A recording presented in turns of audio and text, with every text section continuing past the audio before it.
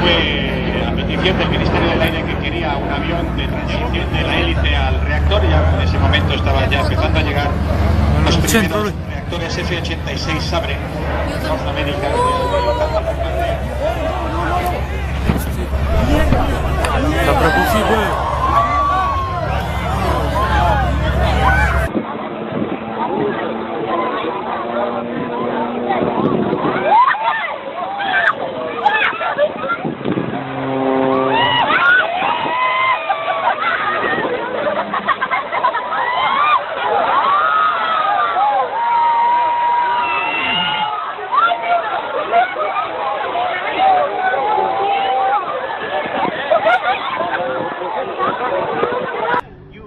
Fight to win, and then you have to get yourself back upright.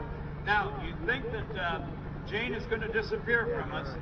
Now, she's still on that far side. Keep an eye on Jane. Keep an eye on Charlie. Watch this. Jane Wicker sitting on top of the world. Oh, no. Martin, get away. Get